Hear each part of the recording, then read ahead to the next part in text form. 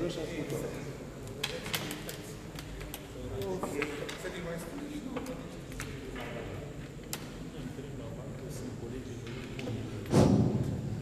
Să rămână, doamnelor, bună seara, domnilor! Uh, iată că ne întâlnim la o nouă activitate legată de personalitățile buzoiene, această fiind, lună fiind dedicată domnului Cornel Penu.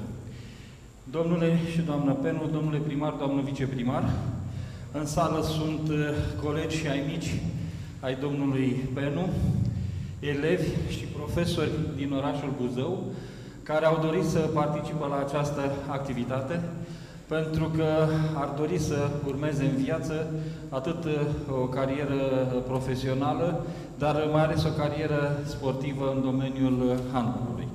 Activitatea noastră din această seară, care este și uh, transmisă live pe, pe Facebook, uh, este structurată astfel.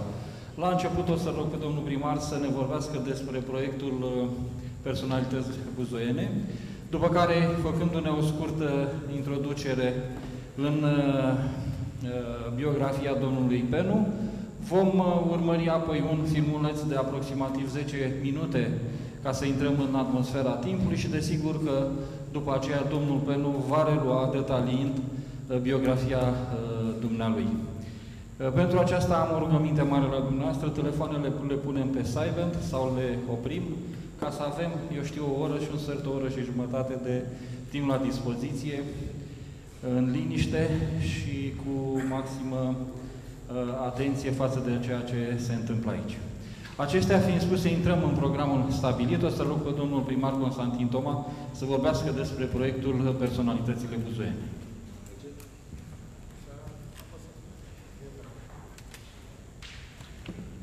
Bună ziua, bună seara tuturor! De patru ani de zile ducem acest proiect și sunt uh, mulțumit că reușim să aducem în fața dumneavoastră, dragi tineri, modele de viață, modele de oameni care au reușit și care au făcut cinste nu numai uh, Buzăului, ci și țării și, de ce nu, lumii întregi. Mă gândeam astăzi când am amintit acolo, domnule Penu, de personalitățile pe care le scoatem în evidență în fiecare an și am amintit doar de două, în rândul cărora sunteți și dumneavoastră, primul laureat al premiului Nobel, George Emil Palade, sau Alexandru Marghiloman. Și mă gândeam, m-am făcut o legătură așa, și bă, când a luat premiul Nobel George Emil Palade, 74. Da. Și iată ce, ce a însemnat atunci, o întâmplare extraordinar de fericită. Înseamnă că Buzău atunci a fost uh, absolut senzațional. Un campion mondial și un uh, campion tot mondial în știință, care a luat uh, premiul Nobel pentru medicină în 1974.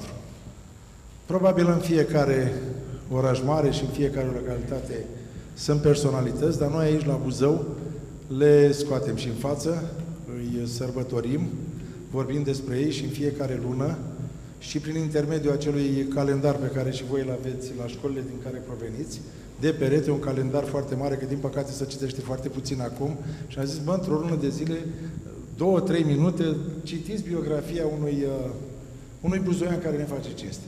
De data asta avem un om uh, la fel de extraordinar, dar uh, cu atât mai extraordinar cu cât o să vedeți și pe filmulețele astea pe aici, a făcut și sport de cea mai înaltă performanță, dar e și absolvent de HD și inginer în tehnologia construcțiilor de mașini și pictor. Deci mergea foarte bine și școala cu sportul.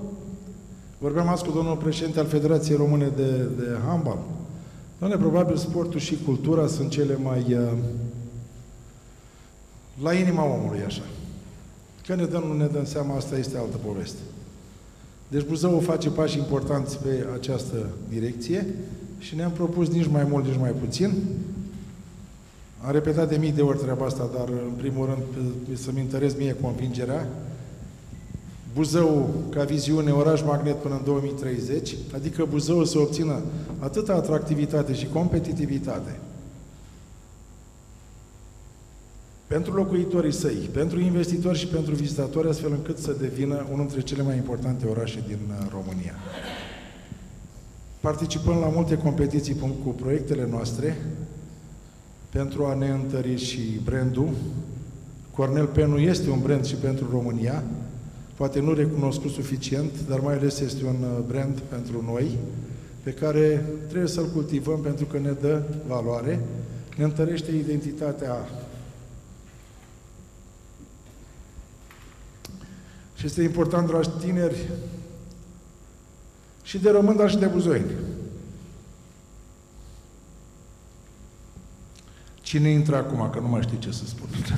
știu foarte multe, dar a fost o zi că trebuie să fii pe postul ăsta un fel de câine, așa, adică nu, să n-ai emoții, să nu, nu mai reușești. Iar astăzi am trăit un moment extraordinar. Doamna avea ochii în lacrimi, doamna Gina, Penu, e, o chestie extraordinară. Cu copii. Cu copiii la, la la sportiv. Cine vorbește acum? O să... Vă o mulțumesc, să mergem înainte, nu ne lăsăm. Doamne ajută! Discutam astăzi și cu domnul primar că, într-adevăr, este un lucru minunat să vezi comunitatea buzoiană care este strânsă în jurul handbalului, în afară de copiii practicanți și sportivi de valoare, antrenori, profesori, oameni deosebiți care au venit alături de domnul uh, Cornel Peniu pentru a fi sărbătorit. Eu am să trec foarte scurt prin biografia dumnealui.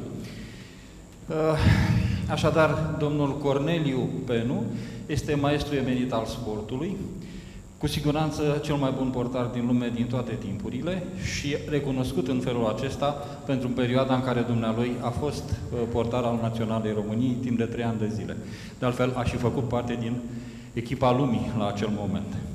S-a născut pe 16 iunie 1946 uh, și pentru că părinții au venit la Buzău, de la vârsta de 3 ani, împreună cu fratele Mihai și sora Sofia au copilărit la Buzău. Este motivul pentru care dumnealui a practicat sportul la școala generală numărul 8 de astăzi, 4 înainte, și la liceul Bogdan Petricei cu HD. Aici a fost uh, remarcat pentru perioada în care uh, practica și fotbalul și handbalul ca portar, ulterior dedicându-se handbalului și sub atenta supravegherea unor oameni de sport extraordinar de atunci ca și de acum, uh, în așa fel încât uh, a practicat handbalul atât la școala din care provenea, dar la, și la clubul școlar sportiv din Buzău, uh, avându-l antrenor pe Constantin Căpățână.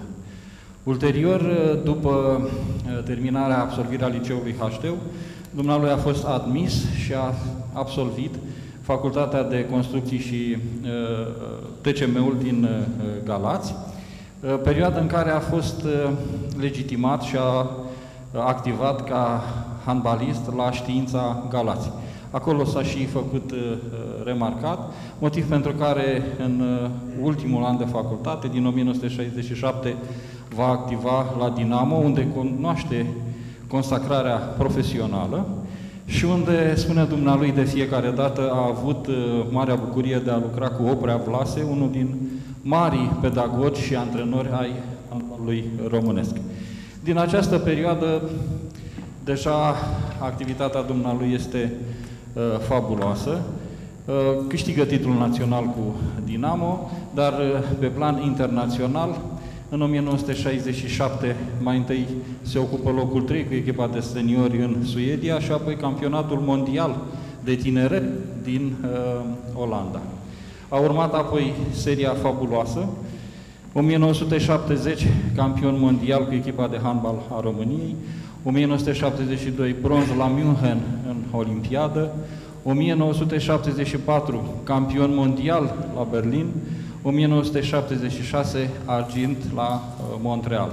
Sunt numai câteva din reperele fabuloase ale handbalului românesc, căreia uh, domnul Cornel Penu este uh, Uh, una din vedetele recunoscute cu termenii pe care am folosit astăzi. Spuneam că dumnealui este oarecum uh, uh, înregistrat cu 200. Se pare că de fapt sunt peste 300 de selecții în echipa națională care ar trebui uh, contabilizate așa cum trebuie, dar cu siguranță vă spuneam că a fost și de trei ori în echipa de handbal a lumii. Pentru toate acestea, domnul Penu a obținut ordine și medalii ale statului român. E vorba de Ordinul Meritul Sportiv clasa a doua și a treia, Ordinul Meritul Muncii clasa 1, dar și în, uh, în anul 2000 uh, Serviciul Credincios clasa 1. Sigur că după activitatea de sportiv din 1980 uh, a urmat o frumoasă perioadă de antrenorat, de mentor, pe care a început-o la echipa națională, la Clubul Dinamo, la Hidrotehnica Constanța, dar și la Asociația Sportivă Armata din Buzău.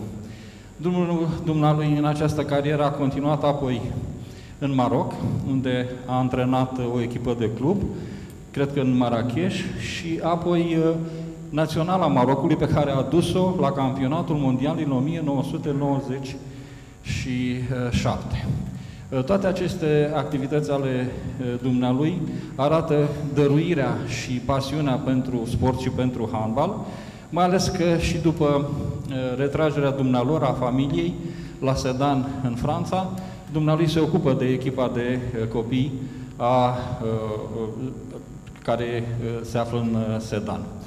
Sigur că față de toate acestea, comunitatea buzeană l-a onorat și cu titlul de cetățean de onoare al orașului Buzău și, de ce nu, recent, reașezarea dumnealui în rândul marilor personalități buzoene, uh, dedicându-se această lună din uh, uh, anul 2021, pentru că este cunoscut mâine, 16, așa cum spuneau, domnul Cornel Penu face 75 de ani. La mulți ani, domnule Penu, să vă dea Dumnezeu sănătate,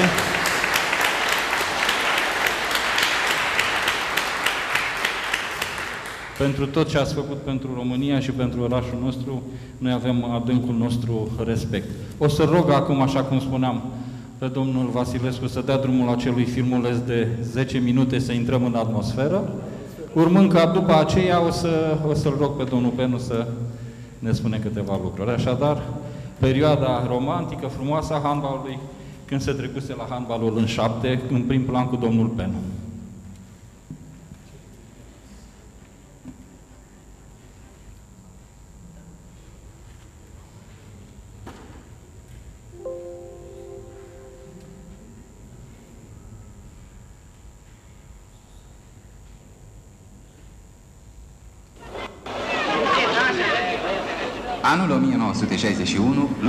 Luna martie, București. Arhivele studioului nostru păstrează aceste imagini care consemnează reîntoarcerea triumfală a primei reprezentative de aur a handbalului românesc. Echipa antrenată de Oprea Vlase și Nicolae Nedef, prin marea victorie de la Dortmund, a determinat începutul unui nou drum în handbalul în șapte, sport a cărui istorie este azi de neconceput fără reprezentanții școlii românești.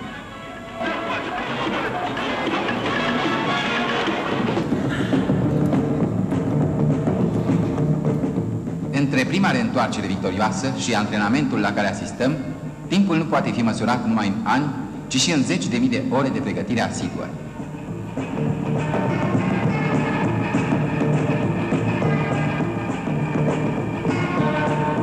În acest timp, mingea de handbal a trecut din mână în mână, de la o generație la alta. Lotul reprezentativ al țării noastre, alcătuit din acești băieți minunați, care și-au câștigat prin muncă perseverentă câte un loc în fiecare inimă iubitoare de handbal, se pregătește pentru a continua șirul victoriilor școlii românești. De unde am pornit, ne reamintește profesorul Ioan Kunst Germanescu, antrenor emerit. A fost jucat pentru prima dată în România în anul 1921. În decursul anilor, reprezentativa noastră a făcut primii pași spre afirmare, participând la Jocurile Olimpice din 1936 și la campionatele mondiale. Unul dintre veteranii acestui sport în țara noastră, antrenorul emerit Dumitru Popescu Colibaș, ne spune. Astăzi este o școală românească de handbal. În ce ar consta ea? În adaptarea handbalului la specificul național, la specificul temperamentului românesc, care se va pe inventivitate, pe viteză de acțiune, pe o gândire foarte largă și asta a făcut să, să venim mereu cu noutăți, să, să surprindem jocurile șablonade care se practicau în celelalte țări.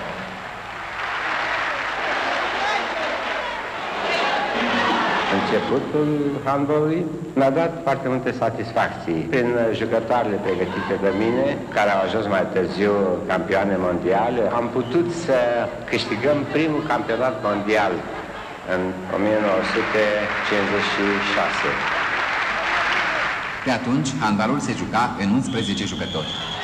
Prima mare victorie a handbalului în șapte au adus-o fetele, câștigând Cupa de Cristal a campionatului Intercluburi.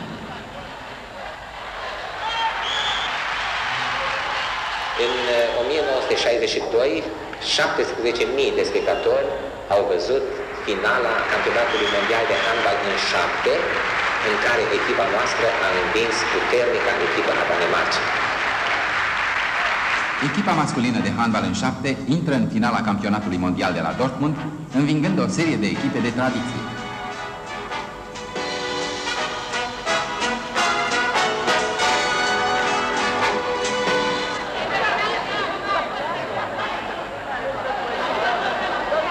Fost un meci de mare răsunet care a solicitat la maximum voința, forța, fantezia sportivilor. Îmbrăcați în costume de culoare închisă, băieții noștri au dat o probă de mare virtuozitate, așa cum își amintește antrenorul emerit Nicolae Nedev. Într-un joc dramatic cu două prelungiri, echipa noastră a reușit să câștige campionatul mondial și a trecut mulți ani de atunci, peste noi au trecut multe competiții internaționale, dar uh, această întâlnire dramatică rămâne încă vie în uh, sufletul nostru și ne amintim de momentele în care la fiecare întrerupere, în pauzele acestea ale prelungirilor, jucătorii noștri căutau pe orice mijloc să recupereze, să mai adune ceva forțe pentru a putea să reziste asaltului final. Și, într-adevăr, în uh, ultima prelungire a acestui joc, Covaci îl angajează pe Costache, care găsește în această situație o soluție și înscrie golul care a făcut ca echipa noastră să devină campioană mondială. A fost o bucurie, vă dați seama, de nedescris, o surpriză de proporții uriașe în lumea sportului internațional. Mulți au considerat că a fost o întâmplare, de fapt și presa străină nu a acordat suficient de mare credit echipii noastre, deși a câștigat și campionatul mondial. Mi-amintesc de o discuție pe care am avut-o într-un tren în care ne deplasam spre Paris, în care ziariștii francezi vorbeau despre handbalul german cu admirație și considerau că victoria noastră este un lucru întâmplător, dar foarte curând neîncrederea a fost spulberată și cele trei titluri de campion mondial, tot atâtea de campioni universitari, care au urmat acestei victorii, cât și două campionate mondiale de tineret câștigate de handbaliștii noștri, au demonstrat că nimic nu a fost întâmplător. 21 de ani, fără întrerupere, handbalul românesc a dominat arena mondială.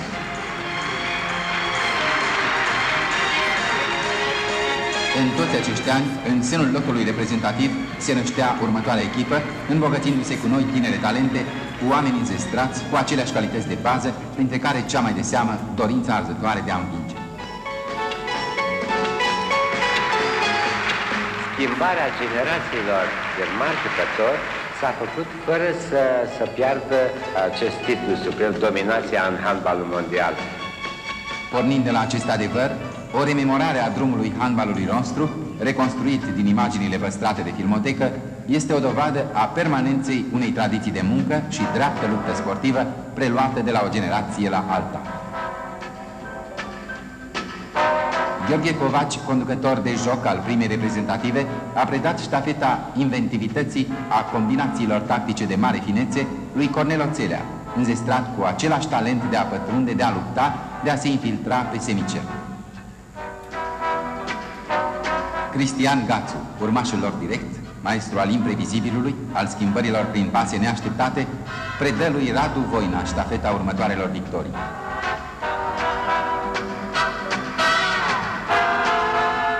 este o continuitate neîntreruptă de la Mircea Costache, cel care a marcat în 1961 golul victoriei la Werner Stock. Faima de cel mai bun portar al lumii, dobândită de Mihai Redl, și responsabilitatea apărării porții de loviturile celor mai buni jucători ai lumii au trecut asupra lui Cornel Tenu. Tunarii noștri, de la Petru Ivănescu, capitan al primei noastre reprezentative, la Gheorghe Gruia, al cărui șut năpraznic a zguduit de peste 600 de ori plasele porților adverse,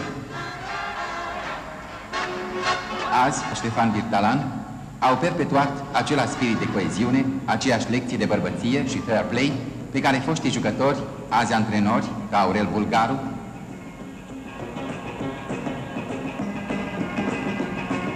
Otto Telman,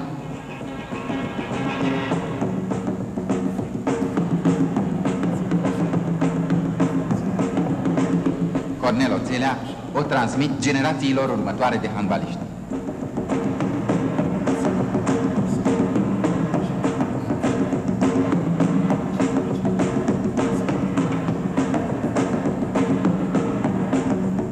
Sportivii care au câștigat victoriile au fost mereu alții. Loturile s-au împrospătat, s-au schimbat în decursul timpului, dar cu toate că la câștigarea fiecărui titlu au contribuit alte nume, alte echipe, victoriile aparțin și rămân ale echipei României, confirmând același spirit de combativitate și de înaltă pregătire tehnică și tactică ce constituie coordonatele de bază ale școlii românești de handbal.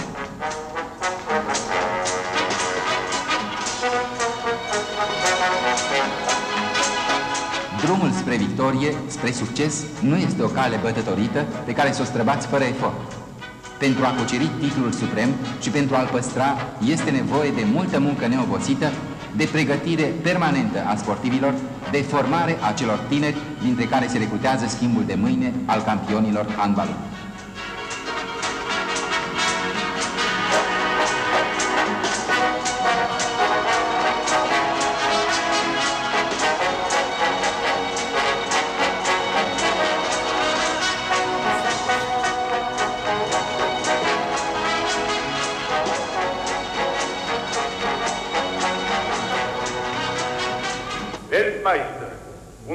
Vinner Gewinner der Goldmedaille sowie der IHF-Trophäe ist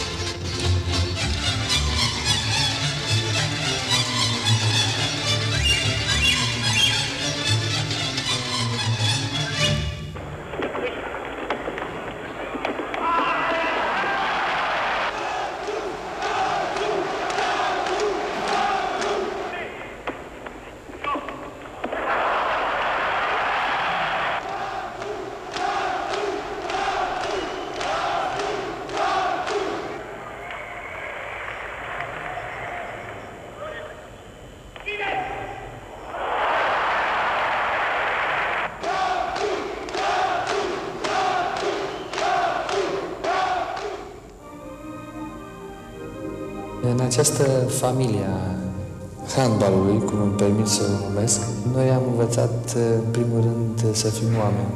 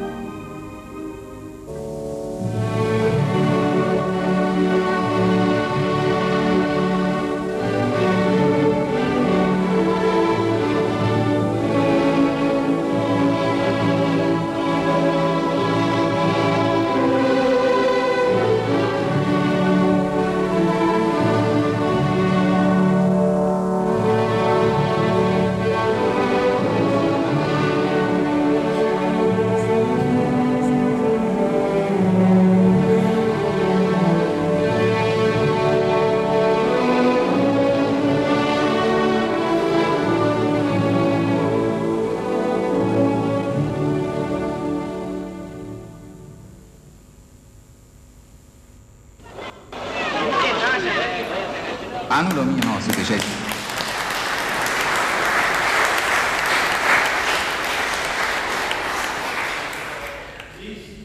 Da, vă mulțumim frumos și acum, uh, domnul Penu, o să încercați din nou emoțiile prezentând biografia dumneavoastră. Dacă nu merge, acesta e... Mă auziți? Da, foarte bine. Am vocea cam stridentă.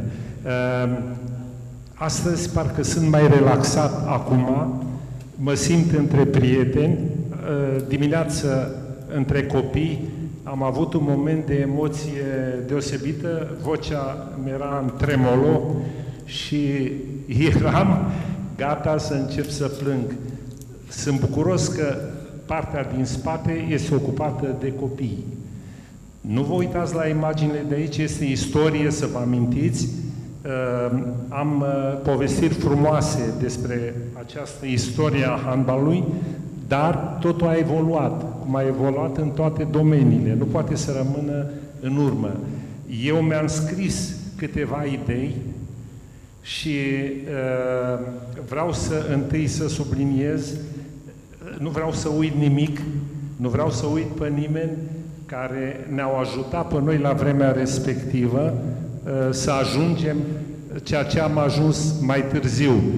Eu nu am uh, stăpânirea metaforilor ca și colegul nostru, poetul, uh, poetul nostru, uh, uh, Flor, Flor, Florian Popescu, dacă ar fi este aici cumva? Nu. Uh, el ar fi povestit această istoria mea mult mai frumos. Eu uh, uh, sunt, uh, am făcut matematică, uh, facultatea de uh, TCM. Uh, acum, umbra atâtor personalități trecute și prezente mă copleșește. Uh, cuvintele mele poate nu sunt cele mai bine alese, sunt uh, nesemnificative, dar uh, vă spun că vă vorbesc cu toată inima și cu toată bucuria că mă aflu aici. Vreau să mulțumesc domnului primar că m-a introdus în lista aceasta și am fost surprins. Eram cetățean de onoare, dar Eh, este ceva extraordinar că mă aflu aici și sunt sărbătorit. Mă emoționează extraordinar de mult. Mulțumesc de asemenea domnului Nicoară, care în personalități HDN și l-am citit cu multă plăcere, eh, mă aflu între colegii mei de clasă, știu, între domnul Păunel și Florentin Popescu. E Cornel Penu. Mulțumesc domnului Alfred Vasilescu pentru organizare uh, și toate uh, mixajele acestea uh, sunt dânsul. Următoarea mulțumirea mea este profesorilor noștri din toate domeniile, matematică, fizică, chimie, care au fost niște, nu e număr toate, voi le, sau noastre le știți, dar care ne-au format și uh, în lume ne mândrim cu multe personalități în lume formate de uh, acești profesori minunați. Uh, mă opresc însă la doi profesori. De ce? Pentru că viața mea uh, a fost schimbată de acești profesori. În primul rând, pictura. Vă aduceți aminte? Era profesorul Pârjolescu care ne-a învățat perspectiva că la distanță un obiect uh, se vede mult mai mic. Uh, mă pregăteam și ne-am învățat multe. Mă pregăteam să dau la arhitectură, dar handbalul mi-a schimbat cursul vieții. Și mi-a schimbat cursul vieții prin profesorul Căpățână, care era un om care iubea extraordinar de mult handbalul și am avut norocul să văd uh, marile generații, nu ce vedeți în film, care făceau un spectacol uh, de... Uh, nu, nu jucau handbal, ei fă, jucau ca globetrotters-ul basketboliștii uh, americani. Uh, și cum? Din două situații. Și pe scurt vreau să le povestesc. Am jucat la Petroșani, am, uh, am fost bătuți de clubul sportiv școlar din București. Și dânsul avea un talent deosebit, nu respecta traiectele trenului, ne întorceam de la Petroșani, trebuia să trecem prin Ploiești și el a făcut un detur până la București. Nu știu ce le spunea la conductor, dar niciodată n-a plătit, n-aveam, n-aveam bilete, ehm, nu plăteam amendă. De ce a făcut acest detur care m-a marcat? În sala Florasca, care este și acum, să juca handbal, juca Dinamo de București, Dinamo București, unde ulterior am fost și eu uh, sportiv, contra unei echipe, pare mi se Timișoara. Uh, am văzut Mozer, Hnat, uh, Redel, Redel care apăra ca un nu, nu pot să zic, apăra toate mingile, Mozer din înălțimea lui dădea niște goluri frumoase în detentă, um, Hnat și el, niște, am văzut un spectacol, Ivănescu care cerea mingea și fiți atenți, dați-mi mingea să, să mar gol. El nu și-a dă mingea unui coleg uh, să trag la poartă. Este o mică diferență. El dați-mi mingea să marc un gol. Mișu Redel, când apăra o minge, spunea, bravo, vorbea singur. Avea impresia uh, că este nebun. Portarea au fost considerați nebuni. El spunea, bravo Mișulică, ai apărat tu și pasta. Dacă era, uh, încasa un gol, zicea, nu-i nimic. Următorul ai să-l aperi. Un mare portar. Și exemplele îmi sunt uh, multe. Uh, am văzut meciul ăsta, am venit la uh, Buzău și după două luni au fost campionatele școlare. Oprea Vlase, care este un buzean de-al nostru, uh, arbitru uh, internațional, a, luat, a găsit fondurile necesare la primarul de atunci și uh, la liceu și a construit, vă aduceți aminte, colegii mei, a construit terenul de handbal în curtea școlii cu nocturnă. De zgură, era un teren. Au fost invitați, am câștigat acolo campionatul școlilor școlare, am fost locul întâi. A invitat tot pe Dinamo București pentru un spectacol. Au venit Mozer, Ivănescu, toți ceilalți și nu au jucat handbal, au făcut spectacol. Prezenți erau toate personalitățile din Buzău, erau profesorii noștri și colegii noștri de atunci, dacă vă, și părinții, dacă vă mai amintiți. A fost un spectacol de neuitat. Ehm, acum, vreau să mai mulțumesc colegilor mei de, de clasă care m-au ajutat când plecam și sunt aici în primul rând, uh, plecam uh, cu echipa uh, școlii și lipseam, ei mă ajutau să recuperau, să recuperez lecțiile.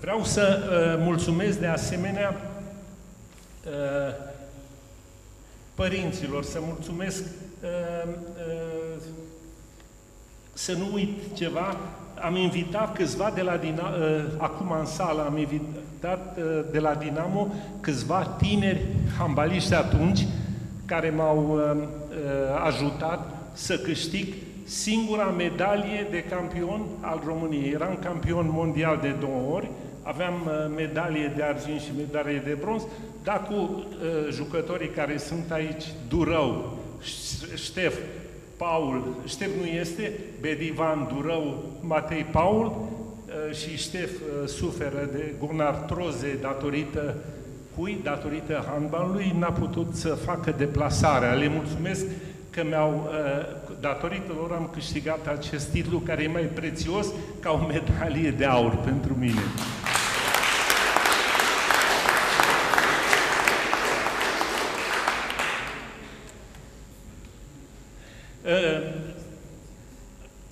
În final vreau să mulțumesc soției mele care m-a suportat, aveam un caracter tăios, uh, am fost greu în momentul în care uh, pregăteam un meci, uh, nu se putea discuta cu mine, sunt mulți care, dar m-a suportat, mi-a dăruit doi copii minunați, ca amândoi ingineri, s-a ocupat m-a suportat 53 de ani. Împlinim.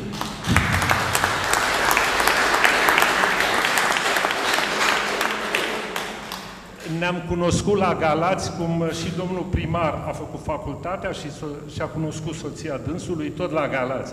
Am uh, încă colegi care au făcut facultatea la Galați. Uh, soția mea mi-a dăruit doi copii, unul a plecat uh, după ce intrase la automatizări în București, în anul întâi, am plâns că nu se va realiza în Anglia, este un om realizat acolo și uh, are doi gemeni de șapte ani. uh, nu, nu vreau să uit numele lor, unul se cheamă Penu Henry Cornel, deci este numele bunicului, ei mă numesc bunicul chiar dacă sunt englezi sau chiar dacă sunt francezi, uh, și am să vă continui povestirea, uh, și celălalt se cheamă Thomas uh, de, Tom John, după numele cuscrului meu ar veni în Franța. Sunt emoționat și le, le am în memorie, dar uit. Da. De asemenea, băiatul din Franța, cu care am plecat în bagajele noastre, el avea 10 ani în Maroc și cu o carte a domnului Neguț despre Maroc. Silviu Neguț, uitați-l acolo. Unde este? La mijloc. Personalitatea lunii februarie. Uitați-l Da, da, da, da, da. O carte, nu știam nimic despre Maroc, și am citit-o cu plăcere, dar între timp uh, am demenajat din casele care le-am avut de trei ori. S-a pierdut pe parcurs și încerc scuze domnului Negus pentru asta. Este un profesor universitar deosebit în geopolitica umană. Um, l-am, uh, băiatul meu cel mic, am plecat cu el în Maroc ca să nu știa o limbă, o boabă în limba franceză, uh, să-l dau la un liceu uh, arab a fost foarte greu, pe drum înspre școală, care trebuia, unde trebuia să-l înscriu, eu socoteam cu el până la 100 în limba franceză, că știți, e diferit de românește, când ajungi la 70, 70, 60 plus 10, 80, 90 și uh, nu știa nimic. A terminat cel mai bun elev cu muncă al liceului din Marrakech, Victor Hugo. Cel mai bun elev. A luat o bursă de... Mă laud cu treaba asta, știe cinci limbi străine, acum, deși nu știa decât română, și uh, se află în uh, Franța. Uh, ce v-aș dori? Am pierdut? Așa are doi copii. Soția îmi suflă și el.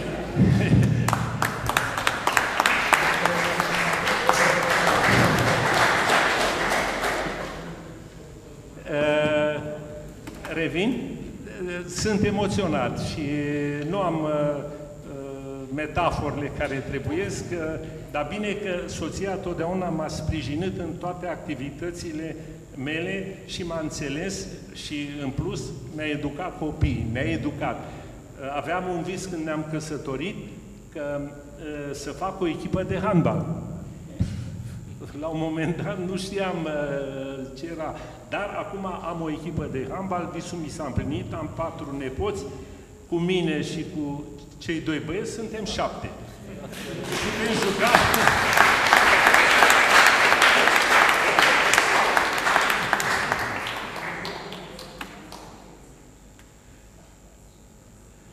băieții se numesc uh, Mat, uh, Matias Eluan, joacă fotbal. Nu eu uh, l-am uh, împins la fotbal. Uh, și celălalt, uh, Ilias uh, Noel, care noi zicem Miliuță. nu, nu îi zicem. Uh, deci suntem o familie compusă din uh, oameni care trăiesc, au venit din diferite culturi, Ehm, trăim în țări diferite, dar liantul nostru este uh, înțelegerea între toți, iubirea și recunoștința valorilor fiecăruia. Valori universale, după părerea mea, care trebuie respectate. Uh, în final, poate am uitat ceva, dar în final v-aș ruga uh, să uh, ținem un moment de reculegere pentru, profesor, pentru personalitățile deja din Buzău, dispărute, plecate dintre noi, pentru profesorii noștri, pentru părinții noștri, pentru colegii noștri de handbal, de, de sport și uh, să ținem un moment de reculegere. Să nu uităm frații noștri,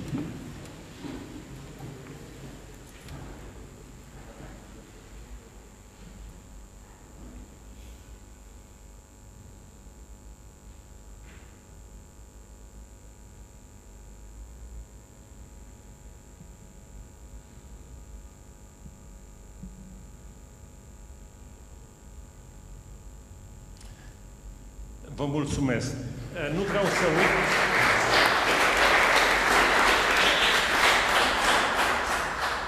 Băiatul meu cel mare, care era un revoltat ca și mine, l-a întrebat pe tata, buzoian, stabilit aici, ce a adus handbalul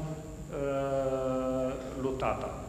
Nu mi-a adus bani, dar tata i-a zis, i-a adus mândria poporului. Uh, tata i-a zis mândria poporului și s-a gândit la mândria buzoinilor. Când ieșea pe stradă, toți îl întrebeau ce mai face Cornel. Deci toată lumea îl cunoștea, nu mai vorbesc de profesori, în fiecare miercuri era la liceu.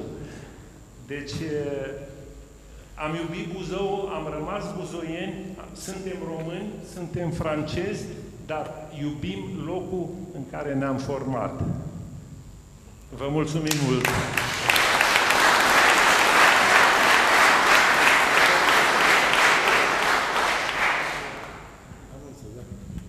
Mulțumim, domnule Penu. Doream să ilustrăm cu un filmuleț uh, despre activitatea domnului Penu în timp ce dânsul vorbește, dar e mai bine să ne concentrăm atenția acum. Sunt materiale transmise de dumnealui, o să vedeți multipla personalitate pe care o are și uh, omul întreg pe care uh, o să-l cunoașteți acum, spun eu mai profund și așezat, așa. Alex, te rog să dai drumul la film.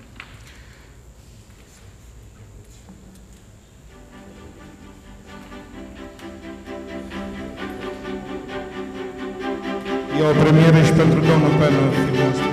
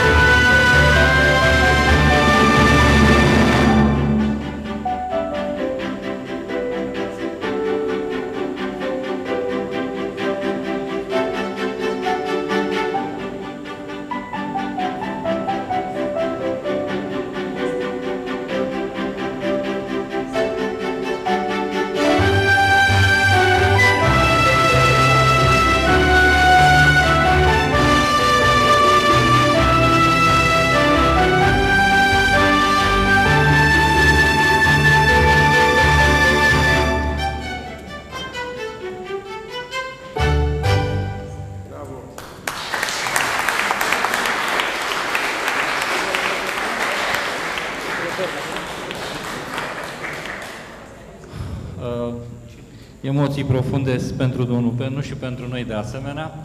Uh, este în obiceiul nostru ca, uh, înainte de a închide o asemenea întâlnire, să dăm posibilitatea din sală celor care vor să adreseze ceva întrebări sau să facă scurte comentarii în legătură cu domnul Penu, să o facă la acest moment, pentru 10 minute, un sfert de oră. Dacă sunt doritori, o să dau microfonul celor care ar dori să intervină.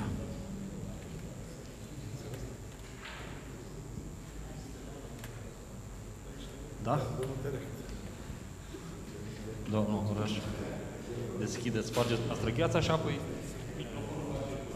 Cred că l-am pus în dificultate pe domnul Penu și de dimineață când i-am pus o întrebare vis-a-vis -vis de jucătorii de la echipa pe care a antrenat-o la Buzău de la ASEA. S-a descurcat până la urmă. Ă, spunea puțin mai devreme în discursul dânsului că tatăl era foarte mândru, mergea pe străzile Buzăului și lumea îl recunoștea. Ă, e o întrebare la fel dificilă, poate, și pentru dumneavoastră. Ă, în Franța, bănuiesc, în orașul în care locuiți, mergeți pe stradă și nu vă recunoaște nimeni. Dacă ați fi la Buzău... Vreau să vă răspund că aveți dreptate. În Franța nu mă recunoaște nimeni pentru că nu sunt, în, nu sunt format de ei, dar au fost ani în care eu am stat la Buzău, nu mă recunoșteau nici buzăienii din nefericire. Încă o dată vă mulțumesc.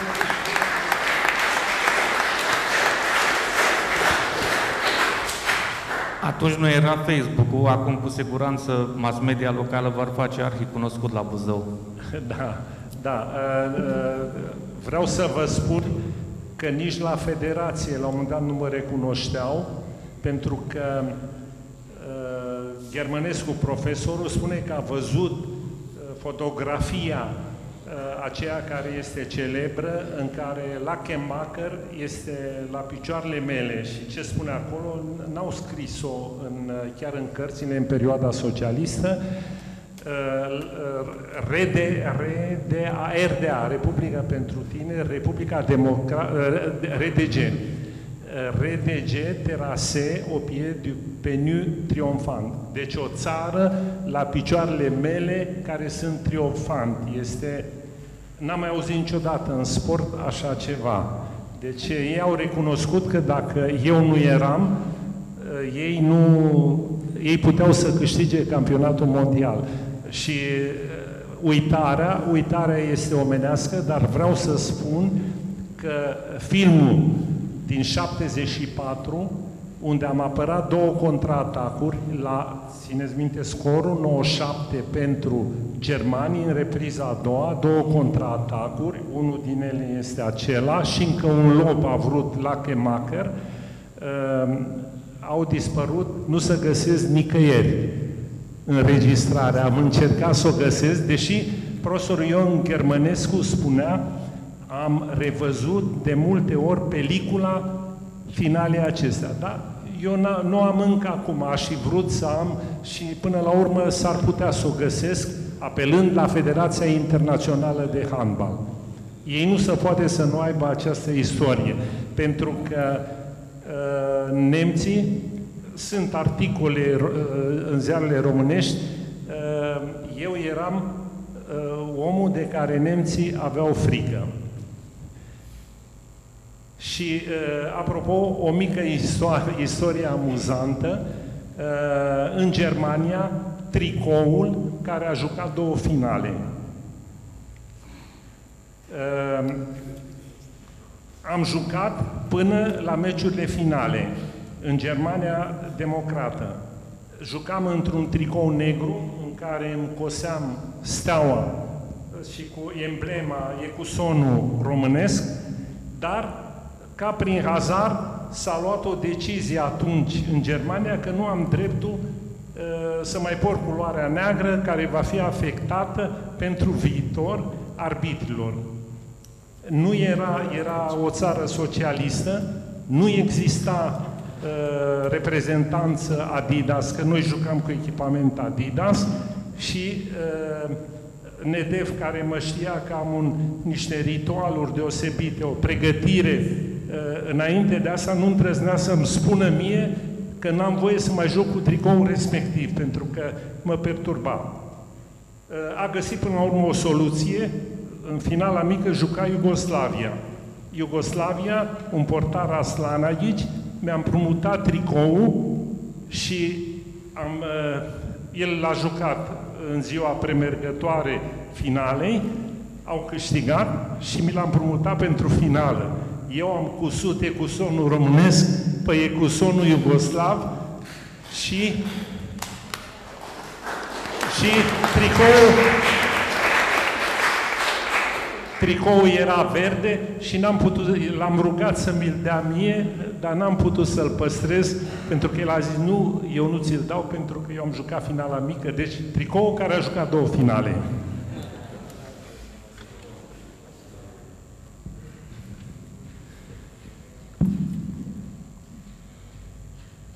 Ai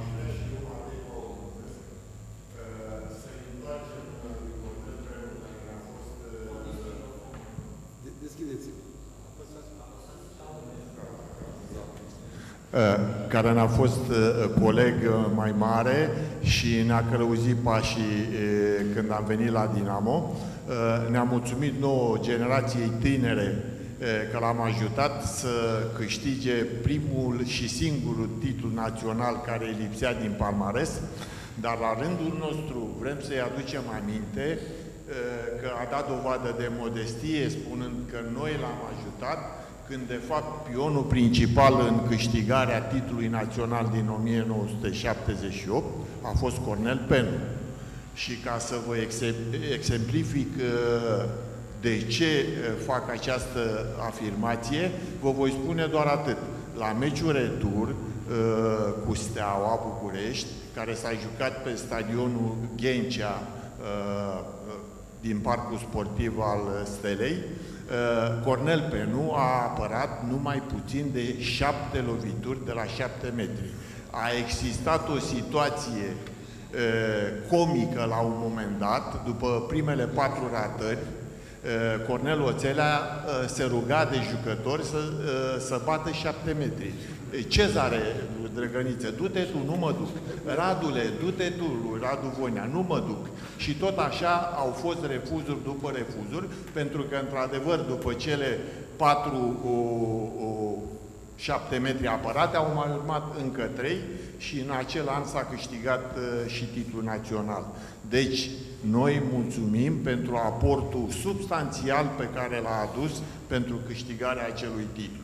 Și apropo de faptul că uh, domnul spunea că nu este cunoscut în Sedan, uh, noi fiind în afară de colegi, având și niște relații, mi-a fost naș și mi-a botezat copiii, uh, am păstrat legătura și mergem, de câte ori mergem în vest, mergem uh, și suntem primiți foarte frumos de familia Penu.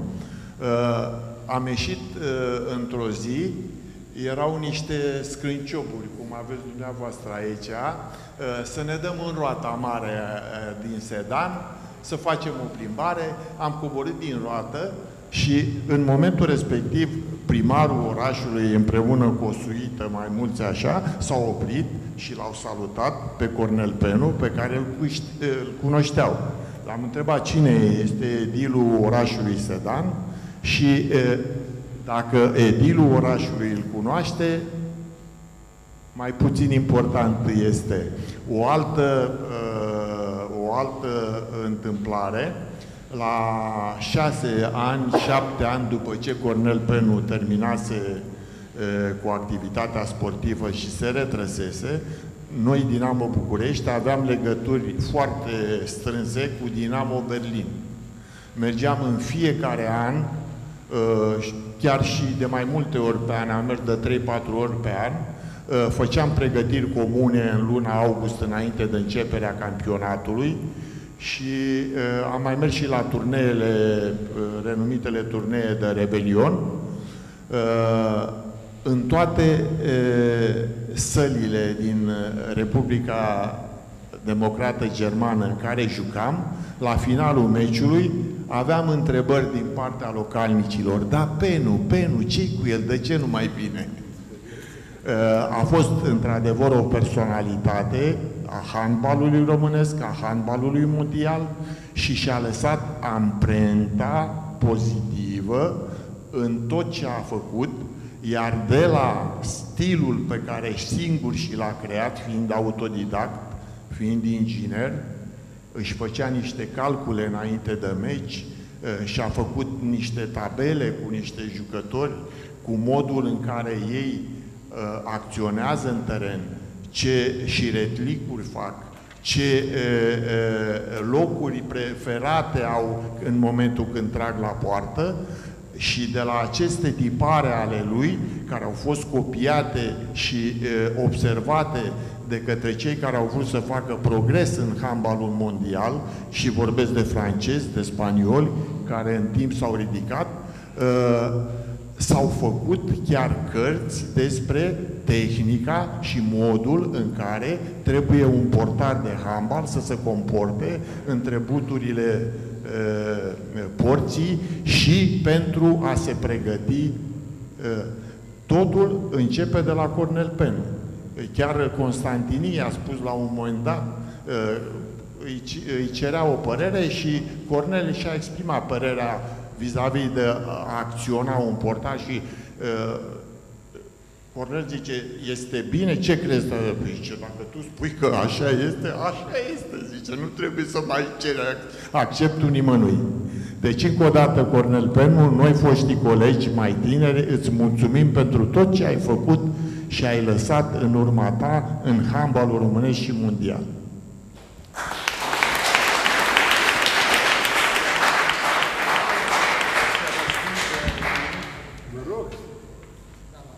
Uh, mulțumesc, uh, Paul, pentru frumoasele cuvinte care le-ai spus din inimă.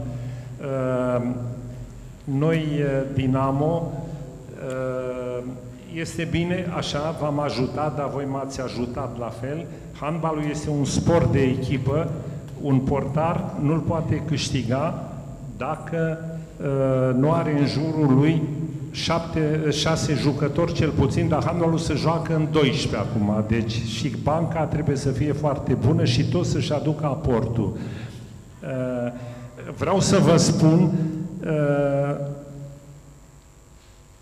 reputatul uh, comentator Radu Naum, tatăl lui Hristache Naum, care a scris ultima carte, uh, ultimul apărător, despre mine după care a murit, el spune că noi am intrat în eternitate, singurul care a venit și face o aluzie la uh, uh, revenirea americanilor și să recucerească Franța în al doilea război mondial, este Uh, a făcut debarcarea, Penu Cornel a participat la debarcare. Uh, vreau să vă... și m-a tratat, m-a caracterizat cum uh, nici eu nu puteam să mă caracterizez, singuratic, m-a caracterizat ca fiind un nordic, nu vreau să jignesc pe nimeni, nordicul care să luptă cu lat bali. Lat bali după concepția dânsului, un neologism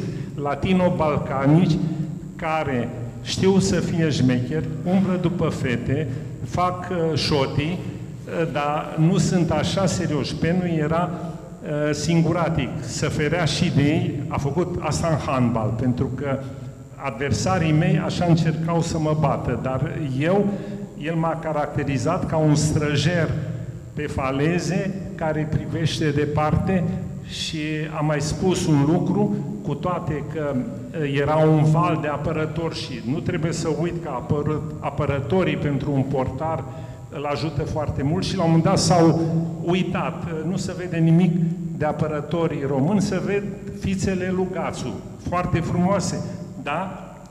Dacă, dacă apărătorii nu iau mingea, nu câștigă mingea, Gațu nu poate să le facă și așa, și așa mai departe. Deci este o echipă în care nu trebuie să uităm pe nimeni, cum am spus dimineață cu copiii, nu trebuie, antrenorii trebuie să, să pregătească din punct de vedere metodic, pedagogic, să fie alături de copii, să iubească, sunt caractere, un, un sportiv are caracter tinerii au mai puțin, dar sunt caracteriel, cum zic francezii, să iubească, să învețe, dar în primul rând să învețe antrenorii metodele moderne și pedagogice de formare a tinerilor. Să nu-i decepționeze niciodată și, după părerea mea, România va putea ajunge datorită tinerilor care sunt în fundul sălii, dar nu sunteți ultimii, am fost ca voi, poate mai puțin să văd, dar am văzut niște campioni mondiali uh, extraordinar la vremea respectivă. Poate unul dintre voi o să fie în locul meu aici peste 10 ani.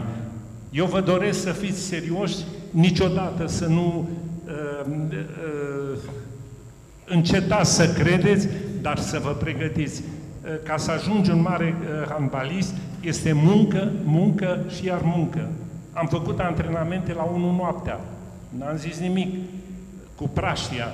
Uh, uh, în primul an când am venit la Dinamo, uh, Vlase venea să semneze Condica. Era angajat, dormeam cu soția, dincolo de ușă, stătea jumătate de oră, eu mă făceam că n-aud, dar, nu, dar el insista. La șapte dimineața ciocănea, ciocănea, până la urmă n-am auzit nea Vlase el uh, și mă chema la antrenament. În 5 minute vin la antrenament în sală. El se plictisea. Și veneam până la 10, făceam antrenament cu el și după 10 era antrenamentul cu toți jucătorii. Deci muncă, muncă și talentul vine. Vă mulțumesc!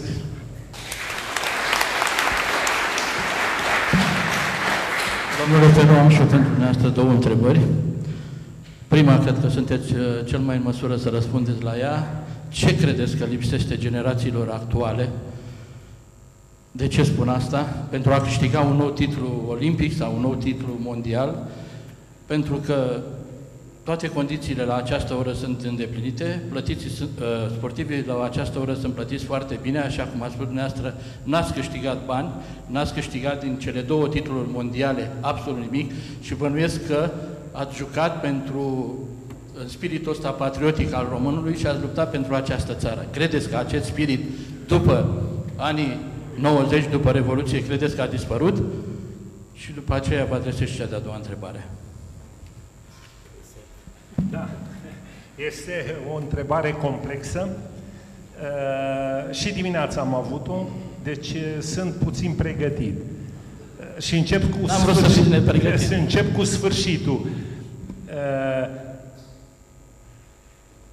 școala franceză, al școlii franceze de handbal, nu vreau să spun ce au, dar uh, Țopescu mi-a, mi pus aceeași întrebare cu ani în urmă și am zis Eh, i-am răspuns cu o altă întrebare. Vrei să spun adevărul sau să înflorez puțin ca toată lumea să simtă? Eu cred că la tinerii care se află în sală ne trebuie adevărul. Da, eu am zis nu. România nu mai ajunge și nu, nu datorită copiilor. Și eh, copiii vor ajunge într-o bună zi datorită celor care încadrează, care nu s-au pregătit, care i-au decepționat și care eh, nu i-au făcut să uh, vină la handbal în condițiile în care ei sunt atrași de internet, în condițiile în care au alte uh, preocupări, uh, trebuie să fie atrași copiii aceștia care sunt viitorul. Și le-am pus întrebarea la toți, antrenorii noștri au fost la înălțimea copiilor ăstora? Eu cred că nu. Eu cred că nu. Aici, aici nu vreau să critic pe nimeni. Toată lumea a crezut că este campion mondial, că am fost noi. Când am, când am terminat cu sportul, Dedu, care este atacat din toate părțile de, de opoziție, nu iau apărarea lui Dedu, dar eu am fost antrenor de la Dinamo, am fost uh, atacat de toți pe care am făcut, n-am fost uh, un diplomat, am zis, eu pe cei care nu muncesc îi dau afară. Și până la urmă, eu am fost dat afară. Deci, deci eu am încredere. Cota încrederii mele, când am văzut aici la Buzău că sunt două echipe de handbal în divizia întâia, a crescut. Eu cred că uh, în curând la răspunsul la întrebarea care se pune tot timpul și mi-au pus-o în Franța și peste tot, va ajunge din nou handbalul românesc acolo. Eu, răspunsul este așteptați puțin să crească acești copii bine antrenați și atunci o să revenim unde ne este locul. Și a doua întrebare pe care vreau să vă spun, recunosc că sunt un mare fan al dumneavoastră și mi-a plăcut să citesc cărțile care se refereau la activitatea dumneavoastră și într-una dintre cărți al lui Cristache Naum ați declarat că deși ați iubit handbalul la nebunie, credeți, dumneavoastră credeați la acel moment că reușeați mult mai bine într-un sport individual. Și acolo vi s-a pus întrebarea în care sport vă vedeți și dumneavoastră răspund tenisul și cred că ajungeam la nivelul lui Ilie Năstase. Este adevărat? Da, da, am răspuns, dar uh, nu mai sunt sigur de, această, de acest răspuns. Uh, fiecare sport, uh, am să vă spun de ce. Fiecare sport are particularitățile lui. Uh, eu, la un moment dat, am fost criticat de mari specialiști, profesori la Institutul de Educație Fizică, că n-au reușit să-mi găsească uh, tipul meu de portar de handbal. De ce? Pentru că eu, cum uh, Paul Matei a spus aici, studiam, n-aveam ordinatorul să-i notez, dar studiam toți handbaliștii ceilalți și în funcție de ce era și în funcție de creșterea gabaritului uh, uh, generațiilor viitoare, mi-am adaptat stilul. Ce jucam în 1970, așa, ghebuit, uh, și nu puteam să acopăr, cum a zis Radu Naum, că Cornel Penu își apără țara lui de șapte, de șase metri pătrați. Deci este un singur, singur acolo și moare de fiecare dată când încasează un gol. De asta spun că m-a caracterizat extraordinar. Poate aș fi ajuns, dar ca să ajungi în tenis, ca și în handbal, trebuia să încep la patru ani cu o rachetă mână. Noi nu aveam bani nici să uh, asigurăm acasă uh, necesarul pentru supraviețuirea zilei de mâine. Și vara eram în picioarele goale, eram bucuroși, ne urcam în copaci, dar picioarele goale. Și aveam o pereche de pantofi sau de iete ca să mergem la școală. Și de asta cred că nu. Bună seara! Câteva cuvinte aș vrea să spun și eu, cum l-am cunoscut pe Cornel Penu, Cornel Duromân. Exact așa cum văd copiii acum, așa l-am cunoscut-o pe Cornel Penu, privind la finala campionatului mondial din 74. Și am zis atunci, fiind, eram vreo 200 de copii într-o sală de mese și mi-am zis în când atunci, m-am rugat, zic, Doamne, dacă aș juca împreună cu Cornel Penu. Asta era în 74, după final. Și în 76, atunci m-am apucat serios de handbal, că cochetam cu box, cu orice sport. Și atunci m-am apucat de handbal. Și în 76 am fost selecționat în echipa de senior înainte de Olimpiada de la Montreal. Și atunci uh, uh, Nea Cornel mi-a zis, băi copile, vrei să joci în echipă cu mine? Eu vreau de mult. Și așa am ajuns la Dinamo în 76 și am jucat împreună cu Nea Cornel, model, asta înseamnă model. Pentru noi a fost un model, un exemplu de tot ce doriți, de pregătire, de nu puteam să crignim noi ceva dacă Nea Cornel uh, zicea ceva sau ne încuraja în permanență. Da, ora exactă, da. și așa ne-am schimbat și mie și lui pe divan, am ajuns la Dinamo amândoi și atunci, în 78, chiar am uh, câștigat campionatul național cu Nea Cornel, care a fost fenomenal exact în ambele meciuri cu Steaua, că aici era lupta între noi și Steaua, cu Gasul, cu exact ce zicea Paul, că se, se invita unul pe alții la șapte metri, nu mai vrea, Birtol nu vrea să mai bată. S-a dus Drăgănițe, care era mai nebun, și, și Drăgănițe. Dădea una, mingea de la unul la altul. Și le-a închis poarta atunci și chiar am devenit și noi campioni naționali în Cornel. Și asta înseamnă că am avut un exemplu. A fost, totdeauna am avut modele. Cred că acum și asta le lipsesc. copiilor de azi. Că văzându-l pe Penu, cine nu vrea să joace handbal atunci împreună cu Penu sau cu Birtalan? Și a fost, era un stimulant pentru. Și așa eu mi-am schimbat direcția, handbal. Și am jucat vreo 10, 12, 14 ani la Dinamo. Și asta a fost uh, amintirea noastră. A, și Mircea pe divan vrea să zică ceva. Că... Mea Cornele, eu nu sunt chiar așa încântat cu Paul și Microfonul aproape. Se registrează. Aproape, aproape de gură. Deci eu nu sunt chiar așa încântat cum e Paul, cum e Cornel de întâlnirea cu dumneavoastră, că pentru mine a fost puțin mai rău decât pentru el. Deci, terminând junioratul și având de ales, am ales Dinamo, primul antrenament când ne-a aliniat după înălțime, drepți, drepți, am crezut că am ajuns la armată, zic ce aici, că nu venea să cred, venit de la Constanța, balcanic, cum spuneți dumneavoastră, și am căutat și eu să mai mă ascund, ne aflase, să nu mă vadă, dar mă vedea neacordat. Bă, ce faci? Și am debutat, zic, am ales de am cules. Zic, ce mi-a trebuit mie Dinamo? Dar dacă nu era un acornel, nu era un aflase, praful se alegea de activitatea mea viitoare. Așa că ne Cornele două cuvinte. Îți mulțumesc mult de tot. Pentru tot ce ai fost pentru noi, pentru tinerii care au fost la Dinamo. Iar în final, vreau să zic despre acest eveniment pe care primăria, domnul primar, colectivul de lângă dânsul, e ceva care pentru mine o noutate, n-am mai văzut și, într-adevăr, simți că un om important este apreciat la valoarea lui.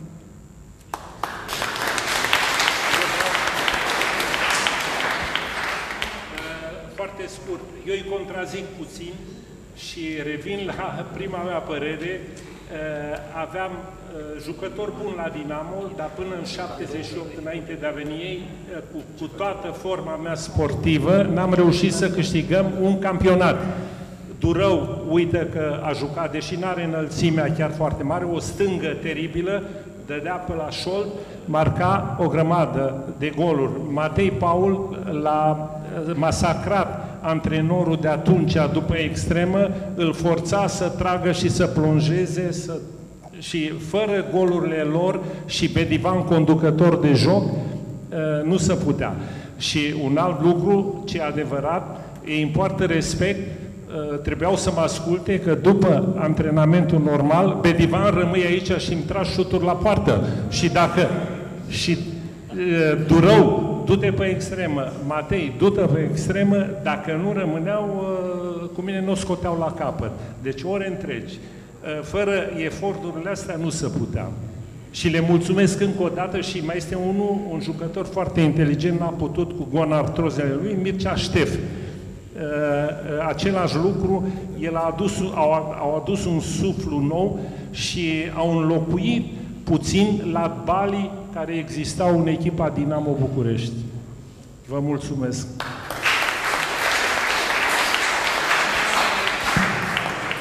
O să... Da, vă rog. Dacă începem discuțiile, urmă nu mai terminăm. Apropo de aportul lui Cornel Pelu, pentru că el este un tip modest și așa a fost întotdeauna. În 1978, în urma câștigării campionatului, am participat în Cupa Campionilor Europeni. Am început să jucăm uh, în toamna lui 78 și am ajuns până în semifinalele Cupei, uh, unde am jucat cu Leipzigul din RDG. Ce s-a întâmplat înaintea acestui meci? Uh, în 16 minim sau uh, cam atunci, s-a jucat cu o echipă spaniolă, Alicante, uh, am câștigat acolo meciul și la returul din polivalentă, Cornel Penu s-a accidentat. A făcut o ruptură de mușchi în timpul meciului cu Alicante și noi nu l-am mai avut urcând către uh, semifinale și finale în poartă. Ajungem să jucăm cu Leipzigul, am pierdut la patru goluri acolo, era în poartă Ionescu Claudiu, Dumnezeu să-l odihnească, care era un portar foarte talentat, dar lipsit de experiență.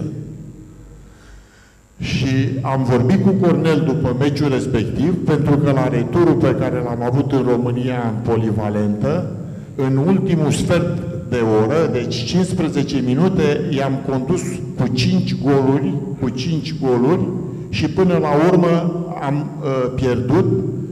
Ei ne-au, i-am bătut tot la 4 goluri și au câștigat la golaveraj. Cam cum a pățit CSM-ul la fete anul acesta. Dacă l-am fi avut pe Cornel Penu în poartă, eu sunt convins și cred că sunt în asentimentul și colegilor mei Durău și Bedivan, cred că am fi câștigat acea uh, finală pe care Leipzig au câștigat-o împotriva unei echipe din Uniunea Sovietică. De asta spun, Cornel Penu era un uh, pion principal și o forță în cadrul uh, colectivului care se numea echipa de handbal Dinamo București. Și încă o dată vă spun, el a fost un constructor de matrițe a făcut matrița perfectă pentru portarul de handbal, de la care toți s-au inspirat și au făcut, uh, uh, au scris ceea ce trebuie să facă un, un portar de handbal ca să fie bun, să ajute echipa. Mulțumesc! Uh, o singură rectificare, că acum, uh, la începutul prezentării mele, am fost atât de emoționat că am uitat doi buni prieteni, două familii de o viață, să nu să mă scuze, familia Mocanu și familia Georgescu.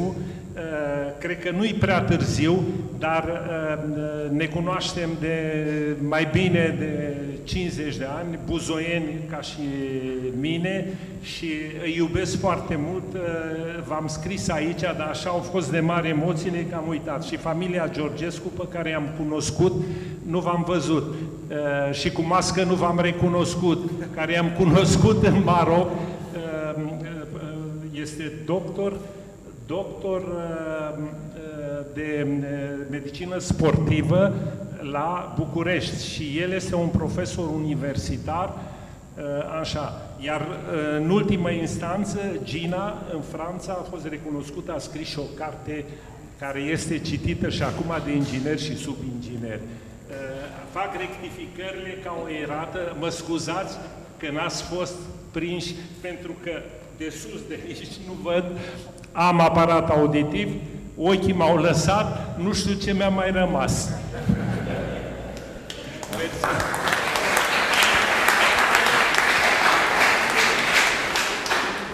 Așadar, ne-am apropiat de momentul încheierii întâlnirii noastre extraordinar de frumoasă a comunității handbaliștilor, iată, nu numai din Buzău, dar și a celor de la Dinamo, deci a celei naționale. La acest moment este în obiceiul uh, uh, domnului primar, a doamnei viceprimar, ca prin programul Biblioteca Scriitorilor Buzoieni, tuturor participanților să li se oferă o sacoșă cu cărțile care au fost tipărite cu ocazia centenarului și nu numai în anul următor la Buzău și de asemenea Liviu să ne pregătească, cred că rămânem aici pentru fotografia de grup, nu? Sau cum? Față sau față, adică nu Coborâm... Uh, cum crezi? Ok, hai să ieșim pentru uh, uh, cadouri și după cadouri o să mobilizăm pe toți participanții la fotografie în față. Ok, e în regulă.